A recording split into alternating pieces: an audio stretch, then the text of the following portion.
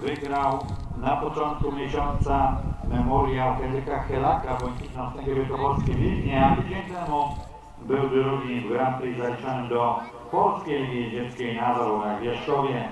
Do szera konia Elvis, wyrodowanego w Holandii, powie, że bieg wod, którego właścicielem jest pan Antoni Dalke. A do startu przygotowuje się siostra Wojtka Agata. Dalej Marcin Pętkowski, Wiktor Szała i Leszek Granza. Na tych przejazdach zakończymy konkurs klasy E, a klasę, klasę C, przypomnę, rozpoczniemy o godzinie 16.15.